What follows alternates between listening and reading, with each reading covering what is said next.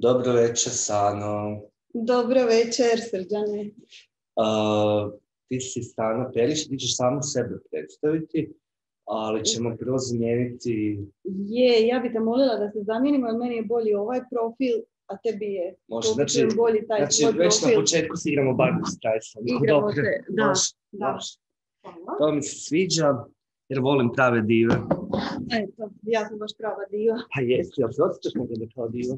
Pa evo sad se osjećam kao diva. Mhm, Da, ovo mi je prvo gostovanje u talk show ikad, ok. tako da sam dosta uzbuđena. Mhm, Imaš tremu.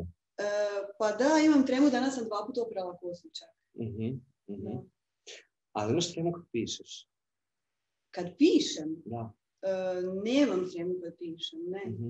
ne. Što je sigurno u tom pisanju? Šta, šta ti se čini da pisanje daje da te zaštiti? A kada mi to dobijemo, djeluje kao ono, operacija, djeluje kao neka najradikalnija moguća autorefleksija. Pa ne bih rekla da ima nešto sigurno u tom pisanju. Ne znam baš. Nisam baš skroz razumjela pitanje.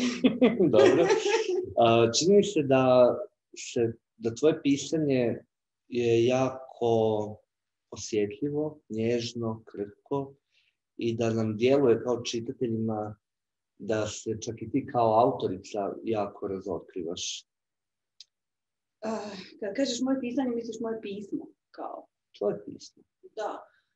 Pa mislim, to je nešto što mi je dosta ljudi eh, znalo komentirati, Mhm, još iz razdoblja bloga, mhm, eh, da ih fascinira kako se mogu toliko otvoriti nepoznatim ljudima. mhm, A onda ja kažem, ali to nije još ništa. Znači, to što sam ja sad otkrila, to je još to je tek površinska razina. Ja nikad nisam u svom pismu otkrila nešto zbilja, zbilja, zbilja intimno.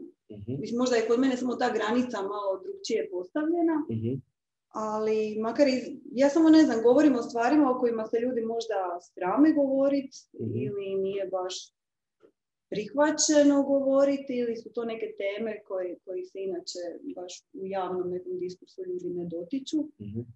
Valjda zato ljudima to izgleda kao da se nešto jako otkrivam. Ne znam, u svom slučaju ja nemam taj neki dojam neke velike ranjivosti i razotkrivenosti. Ne Mhm. osjećam se sad nešto Izloženo. izloženo. Da. Mhm. Mislim, sad se osjećam izloženo u ovom Mhm. divnom mama studiju, ali Kada bi sad pogledala u kameru, eh, smijemo koga bi- taj četvrti. A, koga bi zamislila, koga, koga bi voljela da te gleda u tu kameru? A voljela bi da me gleda mama jer je jako dugo nisam vidjela zbog ove pandemija situacije, a znam da ih gleda tako da Bog mama. Mhm. Eh, kad još nisam na javnu televiziju dospila da je bar ovako pozdravim odavde.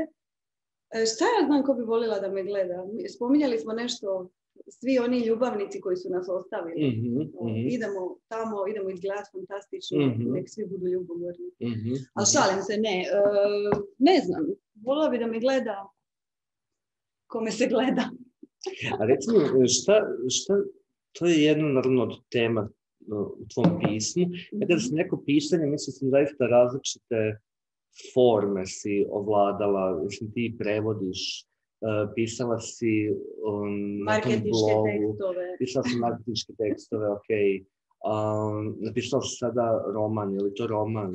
Pa ne znam baš je li to roman. Asija Bakić je kras, u svojoj krasnoj velikodušnoj kritici lijepo e, napisala da je to autofikcija. I Mhm. mislim da je to stvarno najtočniji, najtočniji opis toga šta Mhm. to je. Mislim, fikcija zapravo nije. Zapravo je sve, ajmo reći, autobiografski. Mhm. Uh, ajme, je li dosadno ovako govoriti Je li dosadno? Je li dosadno? Žele li ljudi slušati o tome kako... Ja nekako uvijek mrzim ovakve neke, neke stvari zato što računam ko hoće čitat će knjigu, koga zanima čitat će. Mhm. I kao šta ćemo mi tu sad nešto pričati o knjizi? Mhm. Ali kužim, ajde tu smo zato, pa onda Mhm, pričati. mhm. A ja mislim da mi nećemo samo pričati o knjizi, mi ćemo razgovarati o temama koje je ta knjiga otvorila.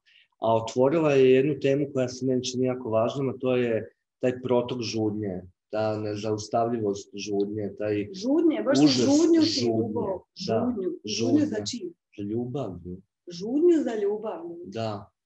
Pa dobro, okej. A? Može se to i tako reći. Jesam Žudnja za ljubav. Da. Pa mislim da je to više žudnja za tim da neko bude neprestano u mojoj glavi, a ne Mhm. može biti, to je isto iz knjige. Mhm, mhm, Sad parafraziram samo sebe. mhm, mhm, E, više možda žudnja da pronađem nekoga ko bi me mogao u potpunosti kužiti, mhm, mhm, što naravno nije moguće. mhm. Ali zapravo kroz tekst se vidi da je tu bilo puno aktera koji su to vrlo uspješno obavljali, taj tvoj nalog.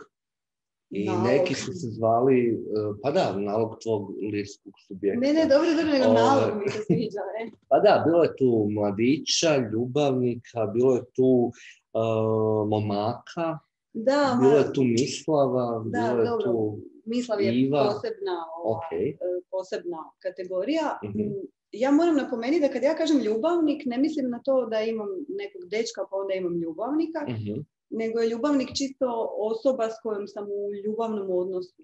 To je mhm, meni sinonim za mladić i za dečko. mhm. Jednostavno volim tu riječ i to dosta Ali, ali postoji, nekada koristiš mladić, nekada koristiš momak, nekada koristiš ljubavnik. Ja volim vjerovati kao čitatelj da postoji nekakva razlika u značenju i u funkcijama koje obavljaju. Pa dobro, mladić je službeno, e, pošto je to standard, mislim da tu želim da, ovo sad tumačim ja samu sebe, Mhm, mhm, E, mislim da sam tu htjela zauzeti mali, malu distancu. mhm, Sprem cijele situacije, momak mi je onako regionalno splitski, kako mi kažemo, pa, mi je, Mhm. pa sam tu malo izravnija. A ljubavnik, mislim, generalno sam, ljubavnik je ili općenito ljubavnik s velikim L, mhm. ili bi bilo samo veliko L, ne znam. Pa vjerojatno veliko L u Veliko nekim ovim story editorima bi Da, se uzelo to L i povećalo da bi, da. E, to je ili ljubavnik s velikim L onda, Mhm. ili je to neko ko nije niti zaslužio status e, momka, dečka, Mhm. mladića, nego je čisto neko, neki fling. Mhm, mhm. Da. Ima um, jedna priča, nekoliko priča, susreta sa idejom ludila. Aha. I ludila se užasavamo, ono je osramoćeno, ono predstavlja opasnost, Mhm. jer tada gubimo kontrolu. Tad društveni poredak nad nama gubi kontrolu, Mhm. ako smo mi ljudi. Mhm, mhm, Da, ma, da, to je ono, to opet ću parafrazirati samu sebe. Oni bi najrađe sve nas proglasili ludima da nas sve mogu izliječiti. mhm, mhm. To je to. A kažeš uh, u jednom dijelu da, naravno, jel, što je kao i poznato, liječe simptomi, a ne uzroci. Mhm. Um, a šta, šta to zapravo znači? Kako znamo da, da postoji taj jedan uzrok ili čak tih nekoliko? Iz nekakve te društveno-humanističke perspektive će olako biti optužen taj kapitalizam, jel? Ta, Ma njega treba za sve optužiti. aha, aha, Mhm. Krovno. aha. A kako znamo da postoje uzroci iza simptoma? Mhm. Pa znamo zato što, ne znam, zato što idemo na terapije, Mhm, mhm, zato što smo slušali kolegije koji se tiču psihoanalize. mhm, mhm. Eh, ma mislim, ne znam, ovo, to, ovo, je, ovo je sve već rečeno, ali da, liječenje simptoma je nekad dobro ako te ti simptomi onemogućavaju da funkcioniraš, tipa da ustaneš iz kreveta. Ja sam Mhm. imala neka razdoblja kad bi po 10 sati plakala u danu i ne bi Mhm. mogla ustati iz kreveta i baš ono, teška depresivna razdoblja. I u tim slučajevima su mi tablete stvarno pomogle, kao što je rekla moja prijateljica Jelena, kao štake. Mhm, mhm. I u tim nekim slučajevima je ok. Mislim, trebaš se nekako dovesti u razinu da uopće izađeš iz kreveta. Mm, ali treba kopati dublje i treba vidjeti šta uzrokuje Mhm, te mhm. psihičke poremećaje. Mhm.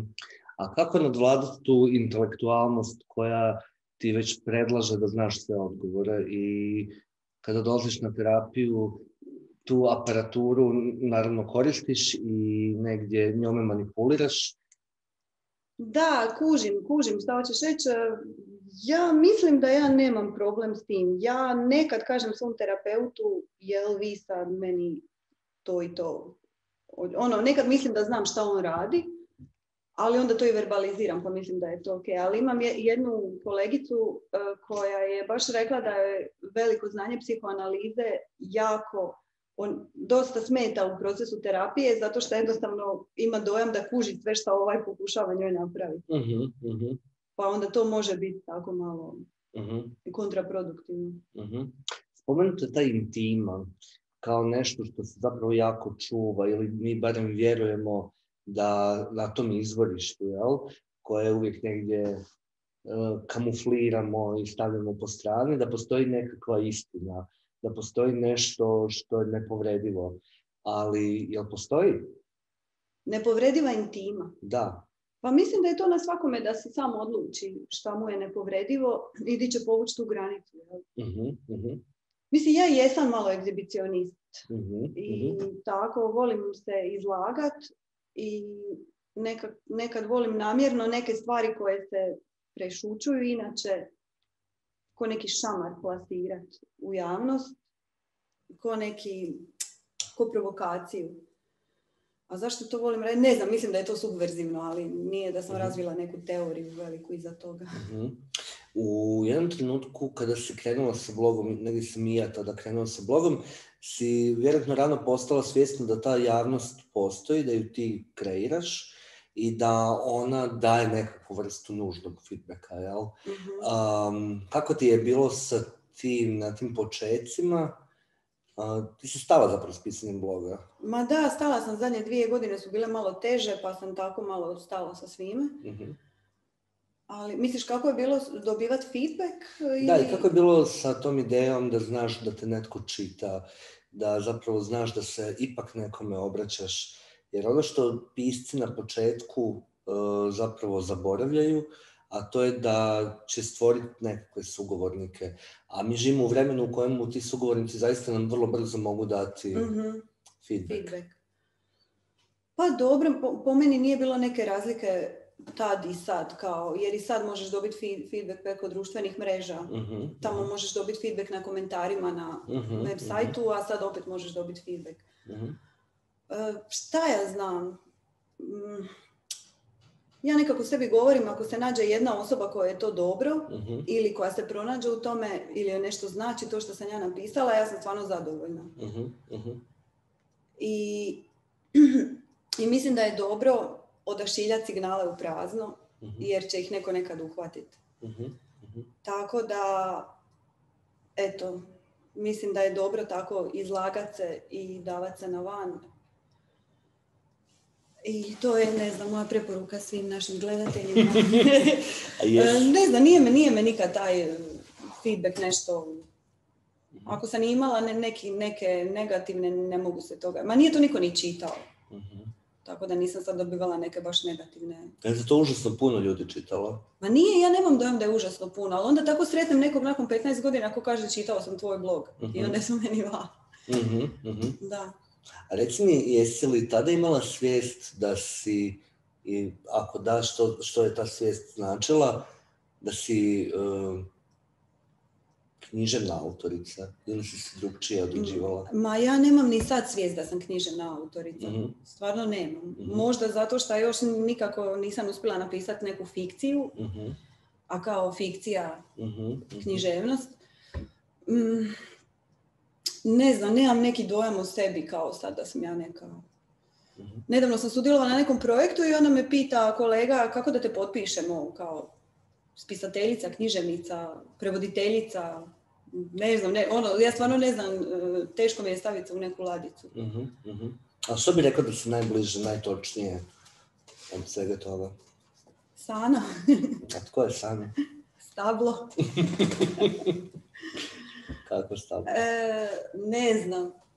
Znala sam da ćeš me pitati da se predstavim i onda ono, ne, ne, ne, ne znam. Diplomirana komparatistica književnosti i etnologinja, nediplomirana studentica francuskog jezika i književnosti, prevoditeljica tekstova društveno-humanističke tematike s francuskog, ponekad i engleskog jezika i radim i na filmskim festivalima, nekad u organizaciji. I tako, šta ja znam? A tko je Sana intimno? Ko je Sana intimno? Pa ne znam, možemo nazvati mog terapeuta da ga pitam. E, Sana intimno je jedna dobra osoba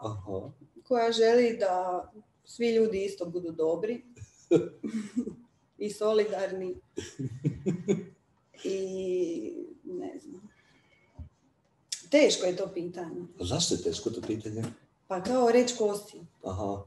Ali zapravo, pa uvijek znamo ko smo, stalno idemo s nekom slikom o sebi kroz ovaj svijet, kad idemo kupovati kruh, kada idemo uh, kupiti jogurt, kada pišemo blog, kada... Dobro, evo, ja ne Ima kupujem, da, ja ne kupujem kruh jer sam celijakiča, tako da, Znači ti si samo celijakičarka? e, da, stana koja ne smije jest gluten, ali ne znam, ne, ne, ne želim da me nijedna od tih stvari baš ono odredi, niti me može odrediti, Mhm, mhm.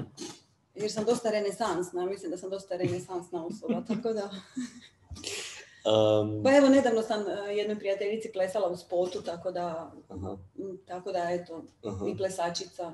Što ti htjela biti kad si bila mala? Kad sam bila mala, htjela sam biti vila. Bila.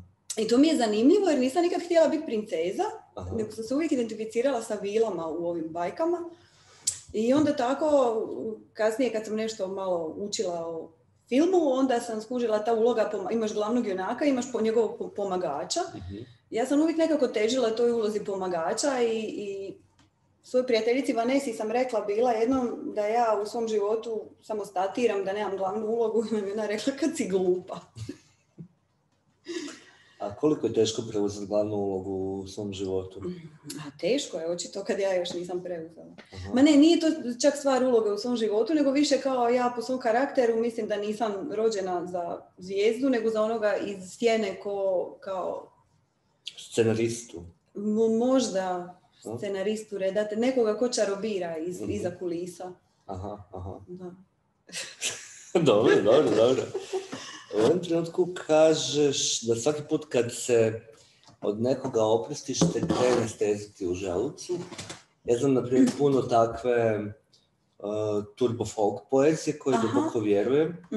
A, sam sam uvjerenja da se od većine toga ili većine njih nikada nisam oprostio, da nisam znao ili mogao to napraviti i da sam često vrlo brzo bježao, Mhm. am, Blokirao. blokirao, osjećao sram i nelagodu. A, pa mi reci, um, šta je tebi, what's your thing sa ra, ra, ra, rastavljanjima, ra, rastajanjima, prekidima? Pa mislim, to su dvije kategorije. Rastajanje od dragih osoba Mhm, su jedna kategorija, mhm, rastanci od dragih osoba, zato što stvarno nikad ne znaš je li to zadnji put da ih vidiš. mhm, A ja sam tako sentimentalna pičkica mhm, i, i onda mi uvijek bude tako teško oko srca. mhm. A rastanci od bivših e, ljubavnika, ne znam, sad kako sam malo starija, sam stvarno skužila ako ne ide, ne ide i ono, okrenem se, idem dalje, ne mogu ja više to patiti za nekim. Mhm. Ne znam, prije sam mogla jako, jako puno patiti za nekim.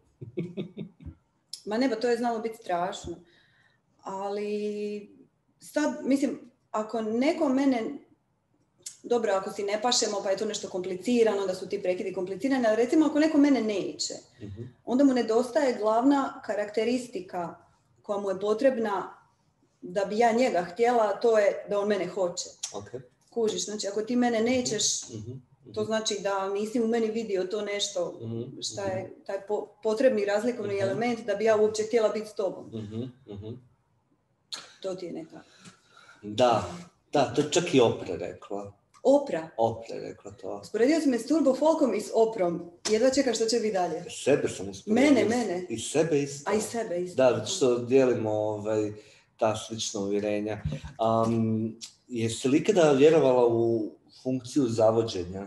Ne, ja ti to jednostavno ne znam. Zašto? Ne znam ti kao igrate neke igre. Aha. Mislim, to igrati igre, i ovo nije da se hvalim kao ja sam super, ja nikad ne igram igrice zavođenja, nego ja stvarno to ne znam. Mislim, bilo bi možda korisno to nekad znati. Znaš ko bi to danas rekao isto? Ko? O- Severina. Severina. Da. Čujem da si ranije radio intervju sa Severinom. Jesam. Jesam i to mi je rekla. To je Isto da ne znam zavoditi, da. Mislim, to je teško povjerovat, naravno. Da, Jel, kao što je teško povjerovati da nekakvom egzibicionistu poput mene u ovom medijskom smislu uh, je nelagodno pred kamerom. da, Je, je, da. A je je paralelno- nelagodno. da, a paralelno obožavam tu biti. Ne, meni isto Obožavam super, biti u nelagodi, zapravo. Jel? To sam osvijestio, da. Ali dobro je to, dobro je, jer ne valja nikad biti preudobno na svojoj Mhm, poziciji. Treba se mhm. malo... Ja samo citiram sebe iz knjiga. Mislim, to inače u stvarnom životu, kad tako s nekim pričam na Mhm. kavi, ja stalno citiram samu sebe. Jer Mhm. imam doma, već sam sve rekla što sam imala reći, Mhm. tako da Mhm. ako je neko čitao već knjigu pa prepoznao što govorim, da.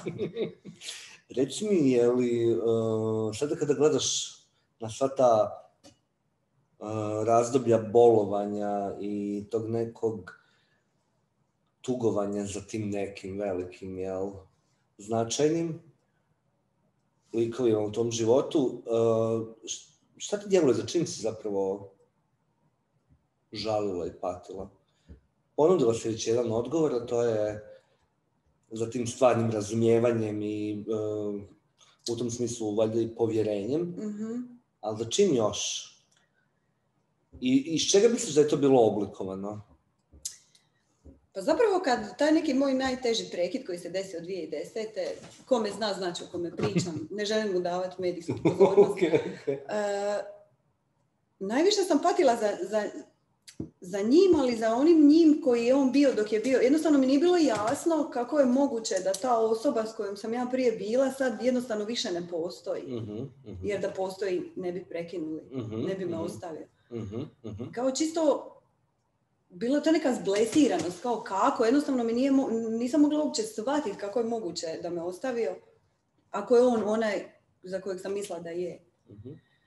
Za čim sam žalila? Pa ne znam, pa svi mi želimo ljubav, svi mi želimo ljubav. To je ono ultimativno što svi želimo, naravno. A šta želimo u tome? Što ja, želimo u Ja to sad ljubavi? sebe pitam, da. Zato što, znaš, ja, ja ljubavi? kad- Šta ti misliš? E, pa evo sad ću ti reći. Dakle, ja sad, na primjer, u tom svom recentnom prekidu, Mhm, sa ono, ja svačam dvije stvari. Jedna je da sam izmislio osobu, da zapravo uopće nisam dao prostor da je do kraja upoznam, mhm. sebi ni toj osobi. Drugo, ja shvaćam da sam ja htio kadrove ljubavnih scena, fragmente, da parafraziram knjige, fragmente ljubavnog diskursa. Ja sam htio te osjećaje, ja sam htio ta ponašanja, ali ja ne znam jesam ja ono- htio sve to. Kao ono što si vidio na filmovima kako bi Tako ljubav, je, ljubav tako trebala je, tako izgledat, je. pa si to htio. Tako je. I užasno sam u tom smislu prepadnut od toga koliko sam, i zapravo svi mi, uh, naravno, um, informiran i, i nastavio reproducirati tu sliku jedne ljubavi koja je zaista fantastična, film, filmična, za citirati, ali ne znam koliko ona izvediva. Jer ja cijelo vrijeme čujem od tih radnika, od tih kmetova života koji vole to biti, da je to nekakav rad.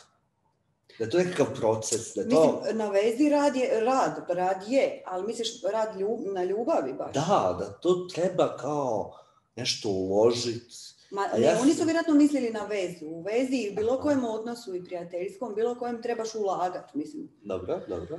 Ali ljubav, mislim, to, ona bi trebala biti toliko čista i jednostavna. Mhm. I zanemari to sve što si zamislija po, i vidija po filmovima. Aha, Ako nešto što se desi izgleda kao da je iz filma, to je samo bonus. Ali nemoj, nemoj, ma- makni se od toga, to ti nije zdravo. Aha, Nemoj krojiti stvarni život po filmu. Jednostavno, jednostavno budi ti dobro. i znaš šta je ključno? Ključno je da zavoliš samog sebe, jer dok ne zavoliš samog sebe ne možete niko drugi zavoliti. Mhm. Što je dosta zajebano. Postoji ti jedna vježba mm, da staneš pred ogledalo i da se gledaš u oči i da si kažeš volim te, sam sebi. Aha. Dosta je zeznuto, probaj. Ja sam uspjela, ali kao nije, bilo je strašno nelagodno i nisam uspjela iz prve. Aha, aha. Ja, ja se znam pogledat i to nekada reći znam ja za tu vježbu. Naravno, aha. nisam ja sebe, što bi rekli ovi iz naroda, pokupio na ulici. Bilo je tu, bilo je tu, bilo je tu igranja, Aha. ali je zapravo bilo i jako puno samo sažaljevanja u tome svemu. Pa znaš. dobro, Bilo da. je tog gledanja u oči sebe, jel, tog Mhm. sebe u ogledalu, pa Mhm. na primjer kada plačeš. Mhm. I onda kada nekada, znaš, kao ono malo dijete pred ogledalo da još se više rasplačeš. Da ti još Jel? više, Ne, ja nekad samo znam otići pred ogledalo kao da vidim kako sam lijepa dok plaćam. aha, Nekad, nekad sam baš ono odvratna, nekad baš budem lijepa pa se da fotkam. aha, Ali E, ali ne, ne, znači, ama nemoj to onda raditi ako te to još više rasplaće. Reci mi, jesi li ih jako puno izmišljala u životu, te ljubavi? Jel bi rekao da je uh, Pa jesam kategorija? sigurno, izmišljanje. Da. E, jesam, sigurna sam da sam neke od tih ljubavi ja izmislila u svojoj glavi. Mhm. E, a znaš kako je, ono, ako muškarac vidi priliku da ostvari nekakav seksualni Mhm. privremeni odnos ili ako vidi da je, pa šta, super je kao slatka je, ok, zaljubljeno je u mene, zašto ne? Mhm. I onda je to sve njima, i onda ja tu možda kao malo izmislim da su oni za, ono, da me vole, ali zapravo. Ali to je sve iz prošlosti. Sad sam odustala. Čekaj, gledam se sad ogledalo u ovo. Da, da se dobro izgledam ili ne. ne, ne, Nikada ne znaš ko će te gledat, kužiš? Nikad ne znaš ko će gledati, to je. Da, da. To je. Ja sam baš putem do tu kao trema mi je i putem do tu i onda gledam sve te ljude na ulici Aha. i pomislim niko od njih neće gledat ovo. Svi Aha. idu nešto pred božićne neke šeme i onda mi je to bilo super. Mislim da ovo samo gledaju neki naši frendovi srđani. Ja se nadam. I neki potencijalni ljubavnici, genijalni. Koji će tek ući u život. Možda nikad ne znaš.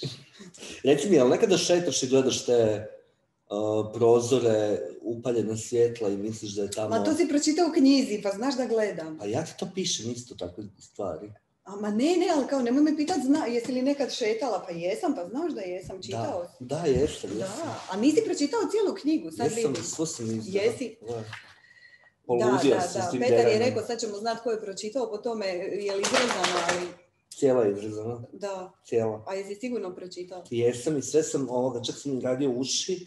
Aha. Znači, ovo je baš knjiga kupus. Ajde, to je dobro. Dobro Da. je kad je knjiga... Žao mi je jedino što nije zalivena nečim, a mogla biti. Imam jednog krasnog prijatelja koji je jedno vrijeme ovako čitao knjige, jer se bojao da ih uništi. Aha, A onda sam mu ja rekla, mislim, kao, knjiga je tu stvarno da se čita. i da se uništi. Pa mislim, ne da se uništi, moraš poštivati knjigu, ali ono, knjiga je tu radi tebe i onako ćemo svi umriti, onako će svemir se cijeli ugušiti jednog dana i ništa materijalno više neće postojati. Mhm. Tako da, čitaj, brate, knjigu, šta ima veze? Pričaj mi malo o tim prozorima. O i- prozorima. Da.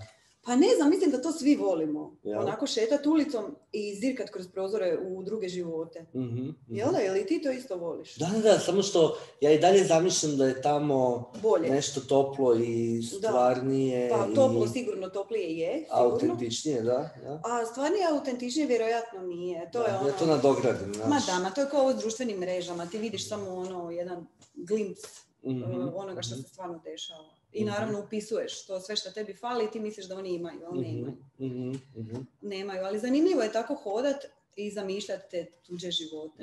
I zamišljati sebe u tim drugim životima.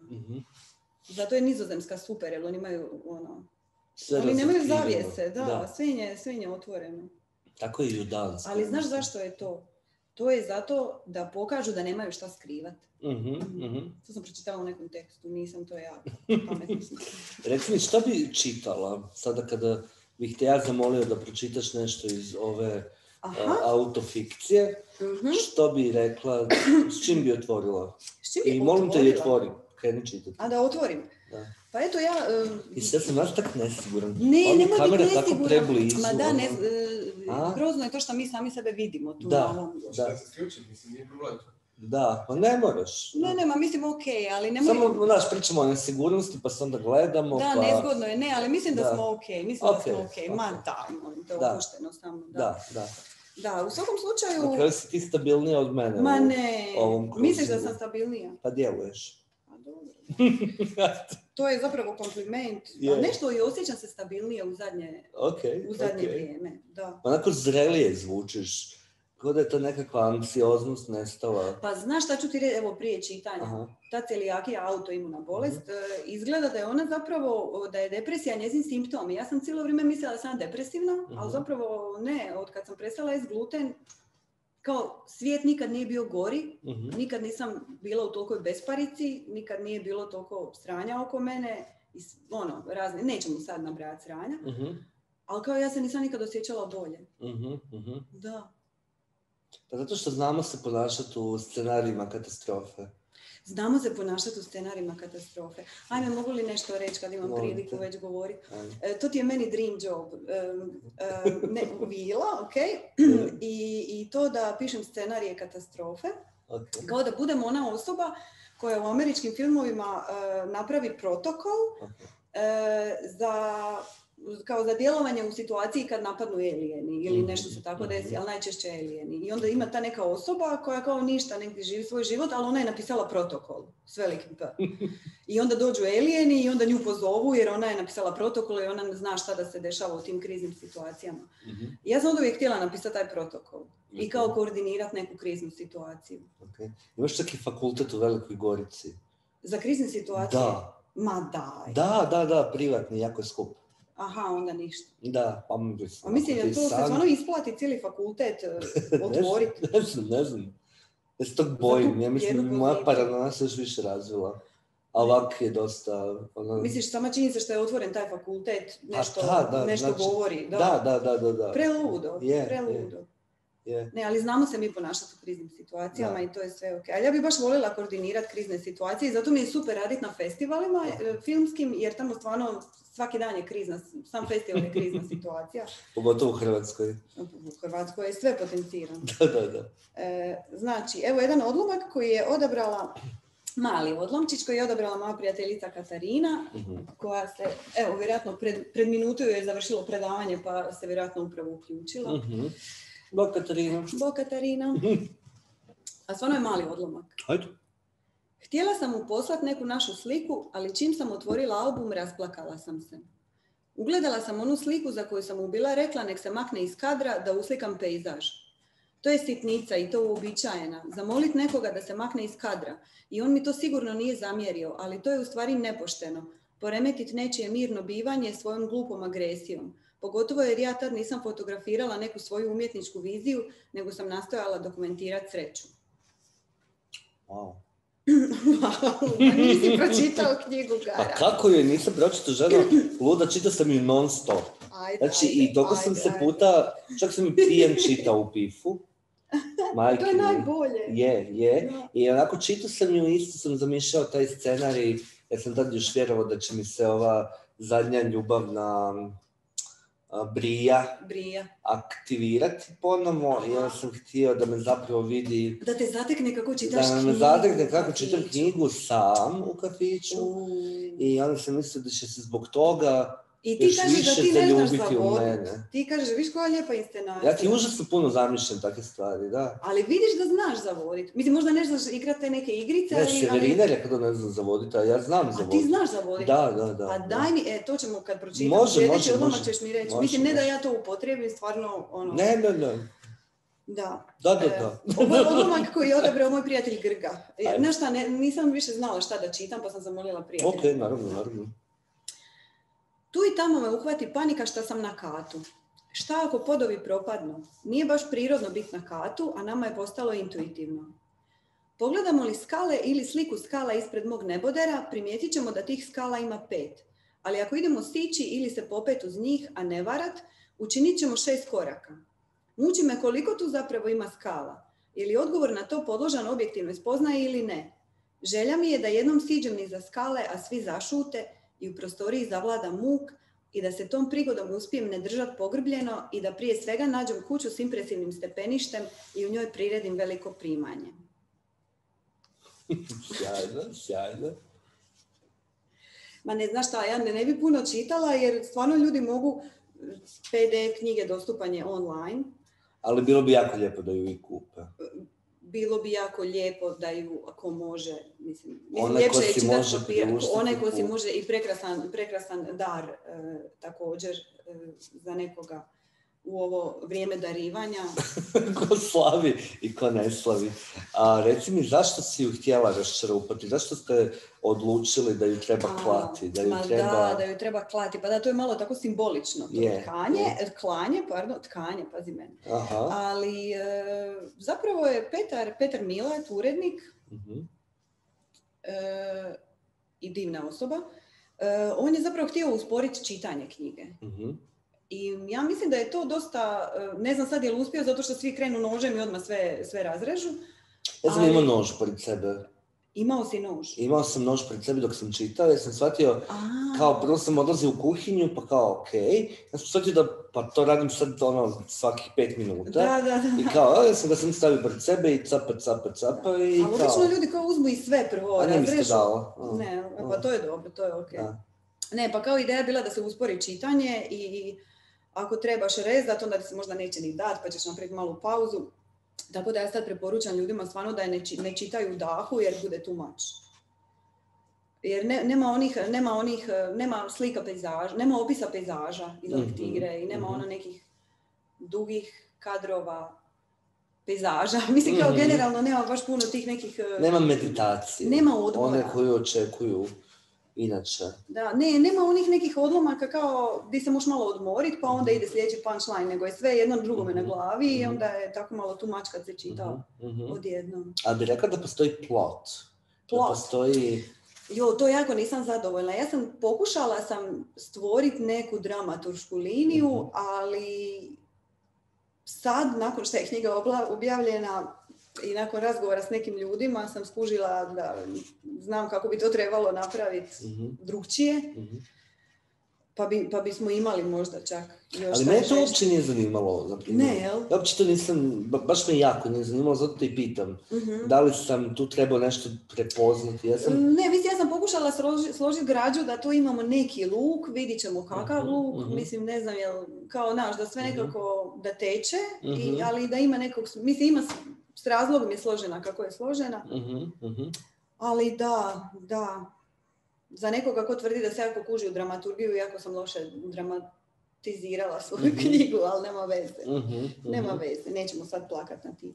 Da, imam još je- jednu, Grga mi je još jednu ovaj, e, preporučio. I sad imamo i performans, jer mi ta nije razrezana. Ovo je super, je sad na promocije i na razgovore svuda nosim svoj prekrasni IKEA kuhinski nož, koji je stvarno odličan. Fakat je prekrasan. Da, prekrasan je, stav je iz jednog ovog... A Sad sam zaboravila, di smo, aha. Sjajno. Sjajno, eto ga. Kad te konačno prozovu, odnosno kad si odabrana, valja skočiti šta brže i pokupiti svoje stvari, zatvoriti knjigu i spremiti je skupa s pletivom, uzeti jaketu i torbu i ući u ordinaciju u manje od 10 sekundi ili bi se moglo dogoditi nešto strašno. Ne znam šta, ne znam ni kako to znam, ali znam da je tako. Dok ležim na ginekološkom stolu, mislim se, šta, pardon, šta ako bace bombu i ginekolog pogine, a ja preživim s onim spekulumom u sebi, ko će mi ga izvaditi? Zato mislim da uz osnove izviđaštva, poljoprivrede, prve pomoći i općenita DIY znanja, za slučaj apokalipse treba usvojiti neka partikularna. Jedan od mojih poslova i snova je osoba koja smišlja moguće loše scenarije u nuklearci da bi stručnjaci mogli predvidjeti sva rješenja i mislim da ću na tragu toga predvidjeti sve moguće situacije u kojima mi može zateći apokalipsa i naučiti sve vještine koje se uslijed toga pokažu nužnima za udobnije preživljavanje s naglaskom na prve trenutke nakon udara, a vađenje metalne raširive falusoidne sprave s mogućnošću fiksiranja u raširenoj fazi iz rodnice bit će prvo na listi. Evo, To- su- nisam planirala, To, ali to su ispalo- scenariji katastrofe. To da, da, slučajno, eto, Aha, ni- aha. nisam planirala. lijepo Nisam ja planirao, viš kako se dogodilo. Baš se lijepo dogodilo. Znači, da. dramaturgija se ipak događa malo, ili često van plana. Da, Mhm. da. Reci mi, ono što se meni čini još u knjizi, da je prisutno, prisutno s jedne strane taj osjećaj raspadanja, Mhm. a, i osjećam dosta krivnje. Da li griješim? Krivnje? Krivnje. Pa ne znam jel grešiš, moguće, Aha. moguće, ali ja to kao nisam Aha. možda osvijestila, ali Mhm. krivnje zbog... Zapravo zanimljivo to pitanje, ako ćemo opet malo na, Mhm. psihologiza, na Mhm. psihologiju, Pa mislim da iz toga ne možemo iz pobjeći. toga ne možemo, da, da. E, kad sam bila mlada, mislim ranije, Mhm. e, sam imala dosta taj osjećaj krivnje uopće što postojim. Mhm. i za mm, moj taj psihički sklop je e, djelovao na način da kada bi mi neko, na primjer, a, ti meni učiniš neko veliko zlo, Mhm. ja nemam poriv tebe ubit, mislim nemam poriv nikog ubit. Ali kao nemam poriv nanijeti tebi neko zlo, nego imam poriv s tebi nanijeti e, neko zlo. Mhm. Kao, Mhm. I onda mi je to bilo nelogično, Mhm. Dok nisam kužila da se time zapravo kažnjavam, jer očito ja nisam dovoljno dobra, nisam, do, nisam zaslužila imat nešto lijepo u životu, nisam uopće zaslužila ni živit, pa, pa ono. Mislim, mislim da možda tu ima te neke krivnje što sam uopće živa. Ne znam šta ja znam, ljudi koji su iskusili depresiju i možda neke druge psihičke stanja, ne bolesti, Mhm. Em, em, ne znam, možda su imali taj dojam da, da ne zaslužuju biti ovdje, znaš, ono, ne znam, ja ne, nekad sam se znala osjećati kao da kradem zrak, Mhm. Mhm. kao, Jel se to da dekonstruirati? ma da, mislim, ma to je sve opet kapitalizam kriv. Ali ne znam, ne znam, nisam, ne znam, baš sam rekla, danas mi nije dan da se osjećam pametno baš, pa... Mhm. E, Teško je, teško je recimo kad si prekarna radnica, teško je kad nemaš e, ništa od onih e, uobičajenih obi, obilježja. E, tipa, znaš, nemam svoj stan, nemam muža, nemam djecu, e, nemam posao. Mislim, radim, ali nemam ono, radno mjesto, ajmo to tako reći. Mhm. I onda kad to sve tako staviš na papir, e, skužiš da, da nemaš ni malo simboličkog kapitala za otići na godišnjicu mature. Mhm. I kužiš jednostavno kad živiš u društvu u kojem se sve mjeri po tim nekim mjerilima, onda je malo teško se osjećati udobno i ugodno u tom društvu. Ja ti sad e, živim jedan paralelni život. Aha, Živio sam do nedavno kao ovo što si ti opisala i dalje sam 90% to, mhm, ali sada radim sa ljudima ili u kontekstima u kojima me se informira mhm. i kojima svjedočim da je moguće to sve promijeniti, Promijeniti šta? da je moguće promijeniti svoj status. Svoj status. Ma, ali ja ne želim promijeniti svoj status. E. To mi je, da. Jer ja sam shvatio, na primjer, da, da, da možda smijem to poželjeti. Smiješ poželjeti, Da. naravno, da. Znaš, tipa, smiješ poželjeti imati stan, smiješ na tome A raditi. dobro, stan bi bilo dobro imati, stan Da. bi stvarno... da. Smiješ se stalno zaposliti, I to smiješ, da. da. Smiješ naći stabilnog partnera koji će htjeti s tobom Biti sve stabilan, to, dobro. biti stabilan. Okej. Smiješ si oprostiti do sada izgubljeno vrijeme. A to sam si oprostila. Ok. Aha. I to mi, je, to mi je sad ludo jer mi to daje zamisliti i na neki način me poziva na odgovornost Aha.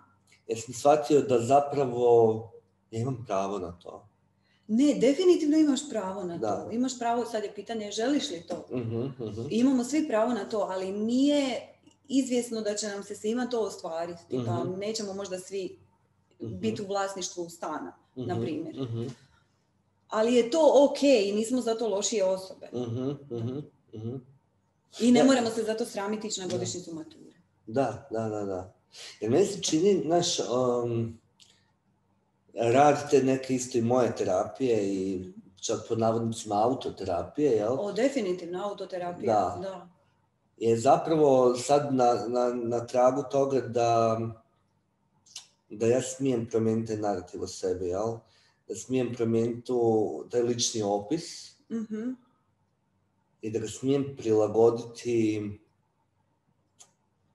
pa toj, ok, sigurno kapitalističkoj ideji sreće, sasvim sigurno, ali ja nisam ni siguran da sam ja u stanju misliti van tog kapitalizma. Pa to je pitanje s obzirom da smo, Da. možemo li misliti van jezika? Da, Možemo da, li misliti van kapitalizma? da. Da. Jer ostalo sve proglašavam šambalom bambalom, proglašavam ludilom, kojeg se također jako bojim. jel? Aha. A, i, kao bojim se tog tla koje klizi i u koje se Da. svako malo može propasti. Da. Nemoj se bojati, prigrli to sve, to ti je moj savjet. A što se tiče ludila, Dobro? isto se, isto se toga nemoj bojati, ali podijelit ću s tobom nešto da, ja mislim da se ni to napisalo u knjizi. Da ja nekad mislim da svi moji prijatelji i bliske osobe znaju da sam ja luda, ali to krivo od mene, da me ne povrijede. Mhm. Ko da je jedan veliki Trumanov, a mislim čak postoji taj sindrom, ali nemam ja, mislim da nemam baš taj sindrom. Ali kao, znaš, da, da svi igraju neku igru za mene, da me ne bi, i kao ne govore mi da me ne bi povrijedili, ali sam zapravo kao luda. Aha, ok. Ali to zapravo ta, Ali ta izjava... kao, znaš, šta sad ako Da, jesam, da.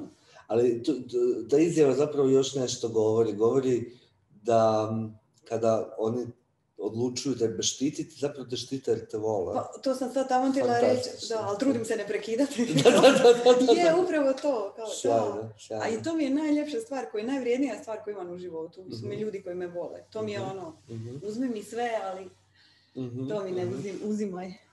Ja, ja znam da ti ja sad zapravo cijelo vrijeme pričam o knjizi, ovoga, jer...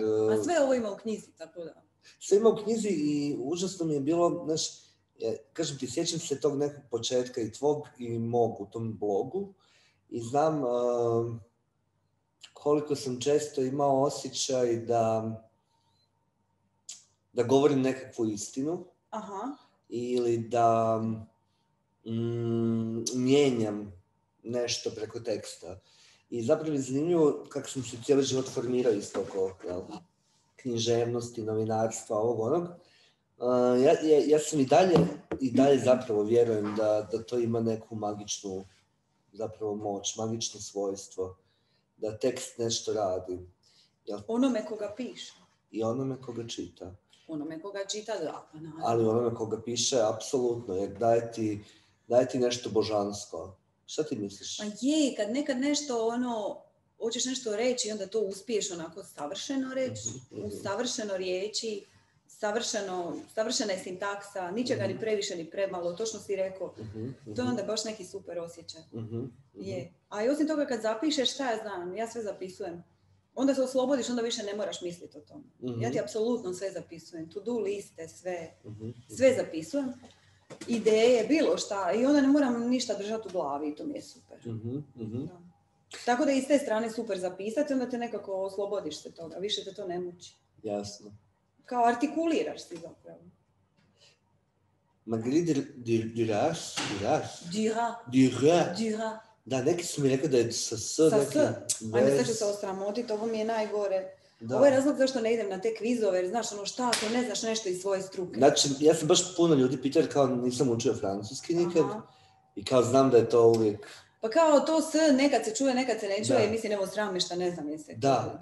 Jel mi imamo neka Facebook kao pitanja i komentare možda? Možda, je- možda neko... vidjeti s našim režiserom. Naš režiser je trenutno napustio Da, režiju, ali tako. možda kad se vreme, možda neko, ako neko od naših gledatelja zna ili Dura ili Duras, molimo da uskoči.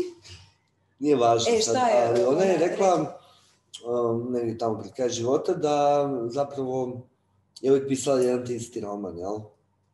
E, a ti negdje uh, ispisuješ to da su svi ti drugi, odnosno mladići, ljubavnici, Jedan momci, zapravo jedan te isti. Da. Pa me za... Sad što sam je pročitati? Jesi, stvarno si pročitao knjigu, svaka čast, hvala ti srđan. Uvijek ju pročitam. Iako sam počeo u zadnje vrijeme odgovarati kada bi me ljudi to pitali zapravo, stvarno, kada, kao, jel ti to stvarno pročitaš? Onda sam već počeo kao, ma ne, kao uzmem Znaš korice. da sam ja prevela knjigu koja se zove Kako pričati o knjigama koje niste pročitali. Wow. I to ti je super korisno. To preleti, tu imaš neke, ne moraš ni nju pročitati, samo je malo preleti. Da, da, I tu imaš te upute kako kao čisto skenirat knjigu da, ima, da svi imaju dojam da si je pročitao. Mislim, ja znam To ti može pro- biti korisno u ovom poslu. Da, puno profesora znam koji su na kraju priznali da da zapravo neke ne čitaju. kapitalna djela nisu pročitali, ali su morali o njima govoriti i to su si oprostili i onda su ono... A treba si opraštati, treba Da. si opraštati. Ali znaš što je super imati evo ja sam recimo nedavno morala za neki prijevod konzultirati Spinozinu etiku Mhm, i to je bilo nevjerojatno imati tu knjigu u rukama. mhm, I stvarno je drugčije kad je ti imaš, kad je malo prolizaš, pročitaš neke djeliće, kao stvarno ono, ja sad imam dojam da znam tu knjigu, makar je nisam cijelu pročitala. mhm. Drugčije je nego kad pročitaš na Wikipediji, kao Mhm, o mhm. Spinozinoj etici. Tako da kao jednostavno imat knjigu u rukama i malo po njoj brauzat je, već je to puno po meni. Mhm, mhm. A, reci mi o tom E, to, da su oni uh, bili svi jedan te isti, ali dalje... Ma da, Imaš to- kad to kažem, tu mislim na ove koji nisu zapravo, s kojima nisam ostvarila pra- pravi kontakt, odnos, Mhm. vezu, ljubav. Mhm, Kao, oni su svi samo bili e, kao neki placeholderi ili kao ljudi koji su popunjavali to neko prazno mjesto mhm, u mom životu. mhm, mhm. kao, mislim, to sam zapravo napisala da ih sve ob- obezvrijedim sama pred sobom, jel? I zapravo da ukažem na to da nije stvar u njima da me oni nisu uspjeli usrećiti ili zadovoljiti ili voliti, nego je stvar u tome da ja imam tu rupu i tu potrebu koju onda neko treba ispuniti. Ali to isto nije zdravo. Mhm, To je bilo prije sve, sad znam da to nije zdravo. Mhm. Sad trebaš biti sam sa sobom cool i dobar mhm, i onda ti neko može biti samo bonus. A ako ideš na to da će te neko spasit, prvo neće te spasit, drugo izgubit ćeš tu osobu. I ne znam, ne može te niko spasiti osim tebe samog. Mislim, mogu ti ljudi pomoći u tom procesu, svakako, terapeuti, frendovi, bilo ko, pa mislim i, i, i partneri, ali ti moraš nekako sam sebe spasiti, moraš biti dobar sam sa sobom i moraš voliti samog sebe i biti zadovoljan sobom, makar si trenutno možda malo i nezadovoljan, ali kao da si ti ok sam sa sobom. mhm, mhm. I u tom trenutku kad si takav, onda možeš pripustiti nekoga u svoj život i da to bude pošteno i prema toj osobi i da ta osoba nije tu samo zato što eto, ti imaš manjak koji Mhm. neko treba ispuniti. Nego je baš ono cherry on top. Mhm, mhm, mhm. Ja se apsolutno slažem s tim. i A baš, baš sam ono filozofira, baš filozofira. Da, da, čovječe. neka, neka, neka, vidiš, ne, E. teško je pobjeći od sebe. ovaj, e, zanima me, često koristimo taj iz, šta je to već, imamo osjećaj da smo u polju patologije, jel?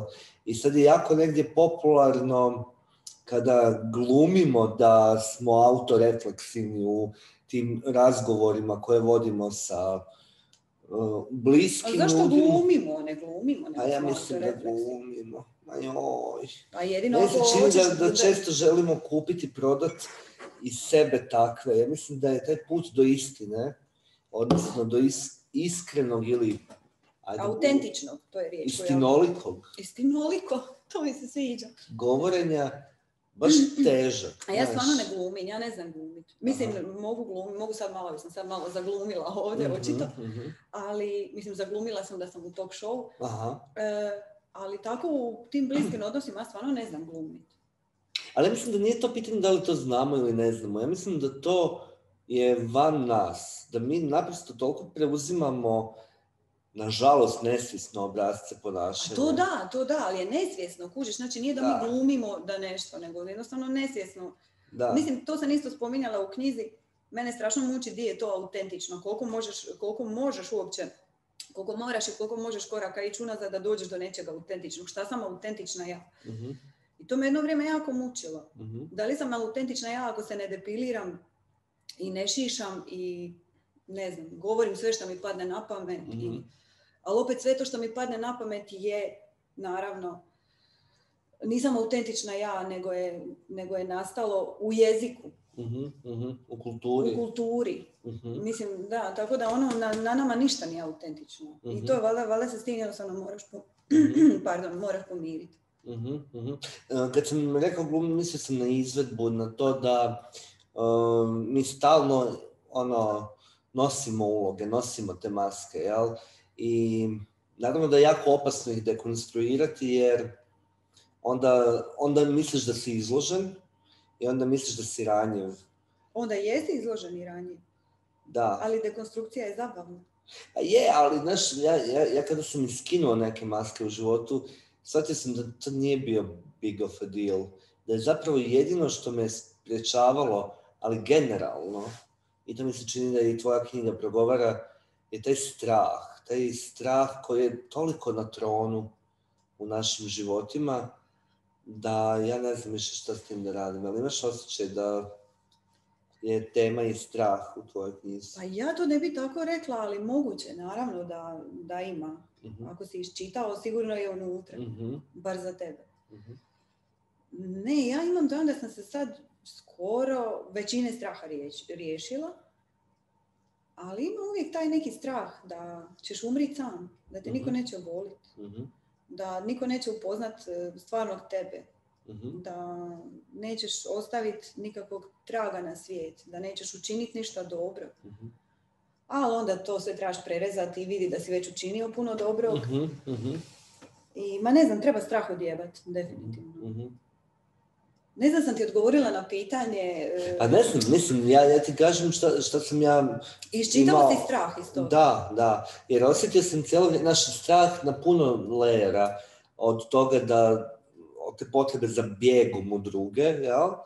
Do nekakve ideje toga da me neće, kad me neće biti, hoće li ovo što je bilo išta značiti i hoće li me ikako biti u tragovima sjećanja, značenja, jel? Da, da, da. U tom smislu strah, on tu Je, a je, zapravo si u pravu, da, zanimljivo, ja to ne bi opisala riječ strah, ali zapravo to i je strah. Mhm. To je ono kad pričam o prababi, uh, kao, želiš nešto ostaviti za sebe na, svije- na svijetu. Mhm, I sad, apsolutno svaka osoba koja je rodila dijete, a s kojom sam pričala o tome, mhm, ili koja je donirala spermu u te svrhe, mhm. E, kaže da sad, da je to to, da sad osjeća da je nešto učinio u životu jer je Mhm. napravio ili rodio dijete. Mhm, I to je naravno prvo easy way out. mhm, A drugo, mislim, ne znam koliko bi to mene zadovoljilo u tom smislu zato što se ja ne sjećam svoje prababe. mhm, I moja čukumbaba već mi ništa ne znači. Ja se trudim da mi znači. I sve te žene koje su živile i uspjele preživjeti da bi ja sad bila tu. Ali zapravo niko ih ne pamti. Ja ih ne pamtim. I onda kao koja je svrha davat se, davat se na taj način kao u svijet e, prokreirat se ako neka moja čuku nunuka neće ni znat za mene.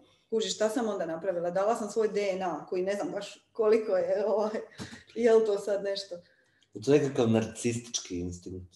Pa sigurno je narcistički instinkt, da, Mhm, mhm. da, da. Mis- Misliš to da se kao ljudi prokreiraju? Da, ili to da se ne žele prokreirati jer misle da su bezvrijedni. To je obrnuti taj... A nije to jedini razlog zašto se ne žele prokreirati, da misle da su bezvrijedni. A naravno, ali... Znaš ti da je najgora stvar koju možeš učiniti po pitanju ekologije u ovom trenutku je imati dijete? Aha. Da? Da, to, Vozi se avionom, bacaj plastične boce okolo, jedi meso, sve to radi, samo nemoj imati dijete i već si učinio više od svih drugih. Mhm. Ozbiljno. Da. Ne, dobro, mislim, samo kažem.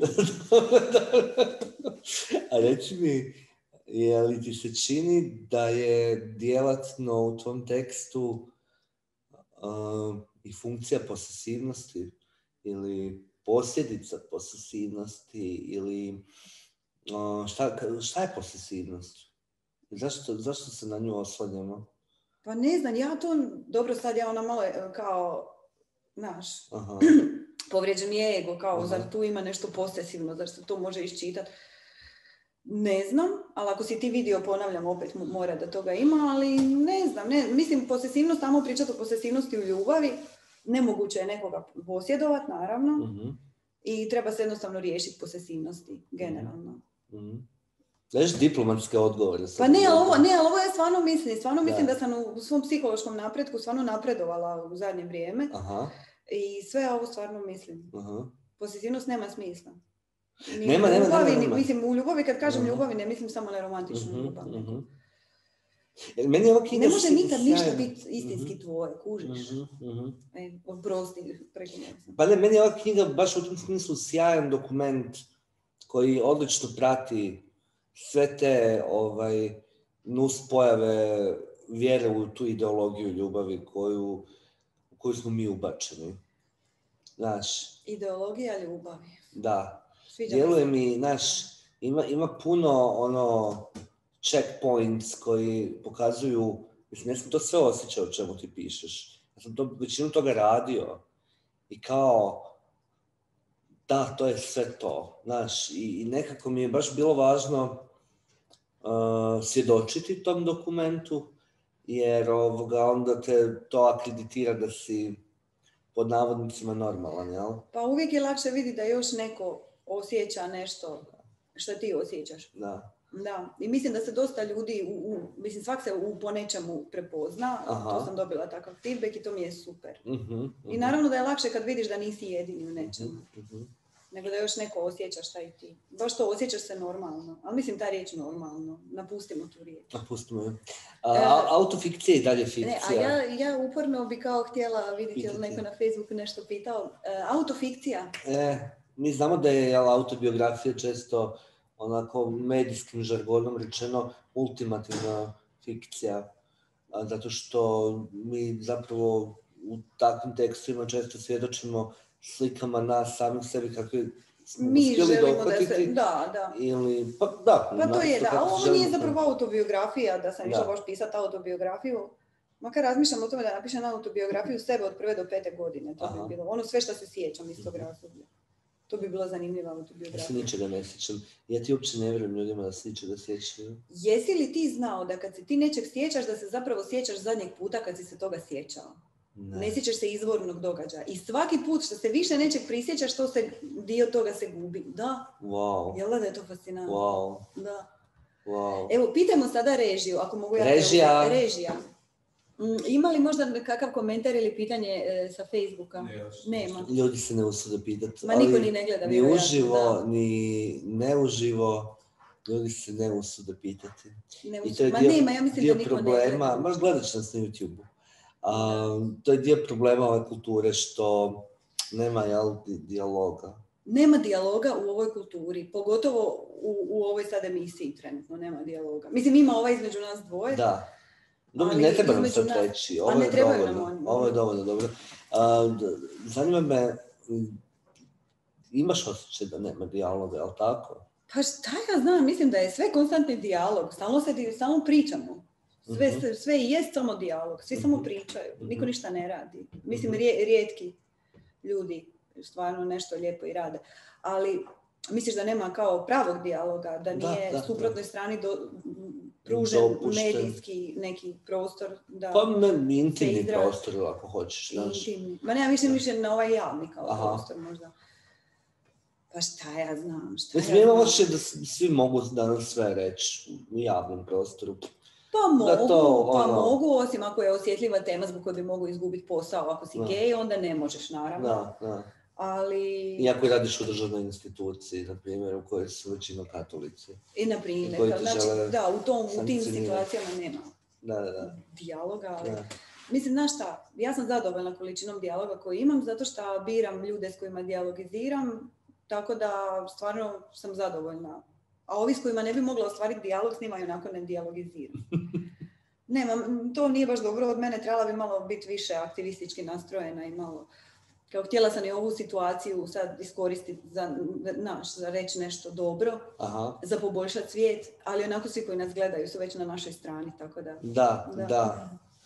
Ima ta jedna ideja koja se proteže, a to je da svi žele isto. I ona je vrlo u pop kulturi situirana. Šta? Seks? Novac? E, e, Ljubav, A ljubav? pažnju, podršku. To je zaista inaugurirano u medijskoj kulturi i pa na neki način i, i u pa slobodno mogu reći u književnosti. Ti imaš osjećaj da kada pročitaš izvjesnu količinu knjiga, da razumiješ strukturu, da razumiješ likove, da razumiješ temeljne motivike i da je onda to tako, jel? Mhm, Povjeruješ da znaš, jel? mhm. A u ovom nekakvom svakodnevnom, stvarnom takozvanom životu ljudi sve češće vjeruju radi svoje vlastite sigurnosti da svi drugi ljudi žele isto i tu često nastaje konflikt i problem. Misliš, jel? Da, Ljudi vjeruju da svi drugi žele isto. odnosno da žele ono kao i oni što žele sami. A to je, to je, to preslikavamo ono što mi želimo na druge, naravno. Mhm, mhm. A znaš šta ja zapravo mislim da svi i žele u, u temelju, ako to nisu ni osvijestili, da svi žele ljubav. To je, ne, to je ne da žele nužno, ali je to svima potrebno. Mhm, mhm. Mislim, svaku osobu bi neko treba baš ono beskompromisno voliti, apsolutno svaku. Mhm. I meni je onda užasno žao nekih ljudi kojima je recimo umrla mama zato što to je osoba koja će te bezuvjetno, čak i ako si serijski ubojica, volit. Kao žao mi je tih nekih ljudi za te koje gledam kroz Ti prozore. vjeruješ da mame bezuvjetno vole? Pa, ok, da, vjerujem, ali sad sam, sad kad si to rekao, skužila. da. Pa cijeli problem je nastao u kulturi zbog odnosa s majkom Je, i ocem ne, koji ja nisu voljeli ja ili nisu super, super odnos s majkom, moja majka je super, pa onda tako malo se zaboravim. Ali je, u svakom slučaju ne mora biti majka, može biti bilo ko. Dobro, svaka, svaka osoba treba nekog da je bezuvjetno voli. Mhm, mhm. Ali ne znam da li to ljudi kao žele. Ja mislim da ljudi više žele kao lovu. Mhm. Šta ja znam? Jel lovi nešto prljavo? Status. Ova je prljava, naravno da je prljava. Moraš dezinficirati ruke svaki put. Sad, nakon šta je koristiš. Em, pa je, prljavo je u lovi, puno je toga prljavo, ali kao mm, ima na OK Cupidu to pitanje može li novac donijeti sreću. Mhm. Sam odgovorila može.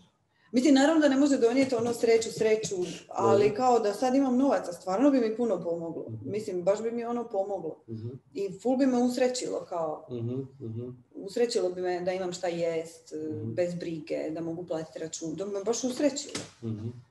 Ali da, generalno novac mislim da je prljav i ja generalno preferiram robno-robnu ili robno-uslužnu razmjenu ili generalno ono, mislim da smo već industrijski dovoljno napredovali da bi svako od nas mogao imati ono što nam treba u materijalnom smislu. Mhm. I da nam novac uopće nije potreban. Wow. Što vao? Pa nisam rekla ništa novo. Pa mislim, nisam rekao ništa novo, ali dosta to djeluje, znaš, um, ignorantno. S moje strane, Mhm. spram koga?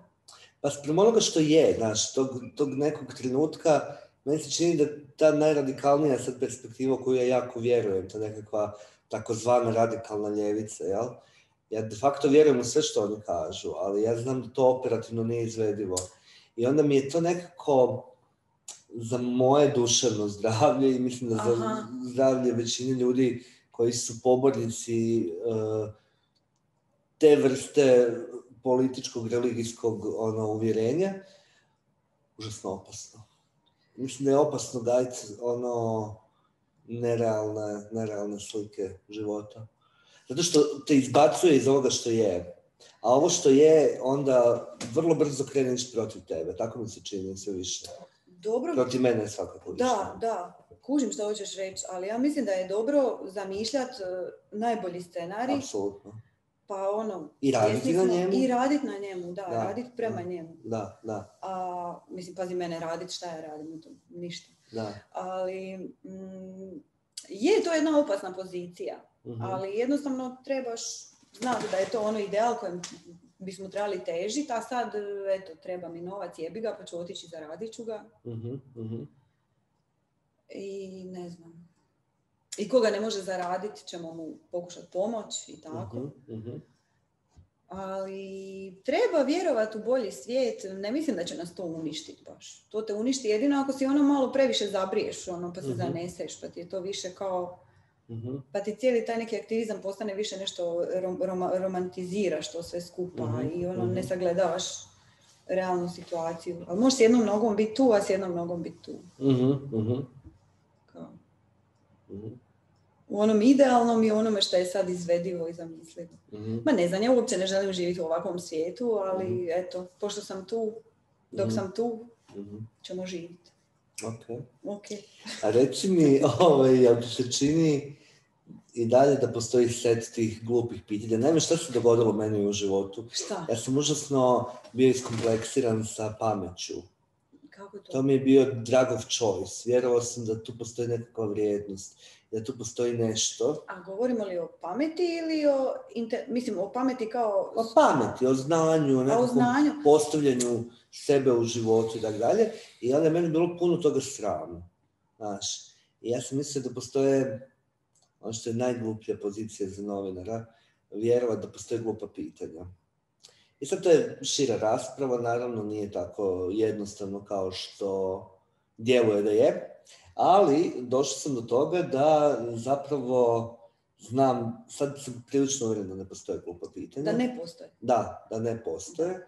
Odnosno, ako postoje, treba ih se istaknuti, treba ih se isprdati, ali ih se ne treba ne postaviti. Ne, pa evo, izvoli, onda postavi, E, postavi, pa me a ne, ja ću ne, ali zanima me koja su tebi glupa pitanja kada se razgovara Da se razgovaramo. u tom zamišljenom književnom polju, jel? O književnosti? Ne, ni, ni, ni, nisu mi to glupa pitanja, Mhm. mm, ali su mi dosadna pitanja Koja? za odgovoriti, mislim i publici za slušat. Mhm. A to su pitanja e, koji su tvoji književni uzori, Mhm. e, koji je tvoj proces pisanja, Mhm. e, o čemu će biti tvoja sljedeća knjiga. Dobro, to možda nekog može zanimati. Ali kao taj neki tip pitanja i kao koga to zanima? Ja, stva, evo, ja stvarno mislim da to nikog ne zanima. Mhm. Stvarno mislim da, mislim, evo, nemam književne uzore, Mhm. a stvarno mislim šta nekog zanima moj proces pisanja. Mhm. Stvarno ne, mislim, ako nekog A to je voajerska potreba, znaš. Ja Pa mislim da onda će pogotovo... radije reći o svom procesu kao, ne znam, šta radim u kupaoni, kako se spremam za dan. Možda je Mhm, kao voajerski u proces pisanja.